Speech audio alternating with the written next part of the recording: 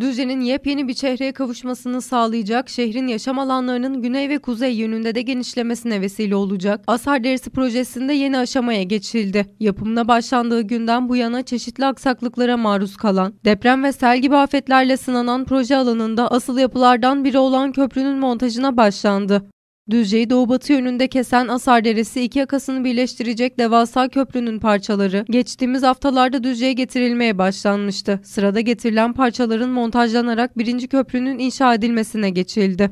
Asar Deresi proje alanında amfiteyatro ve çevre duvarlarının tamamlanmasının ardından köprü ayak montaj noktalarının hazırlanmasıyla birlikte getirilen köprü parçaları için çalışmalar başlatıldı. Dere içerisine konulan vinç yardımıyla Ankara'dan gelen ilk sevkiyatta Köprü 1'in ilk tabliyesinin yerleştirilme işlemi başladı. Köprünün kalan parçalarının hazırlama ve boyama süreçleri imalat fabrikasında devam ederken sevkiyat halinde gelen parçalar sırasıyla yerleştirilecek.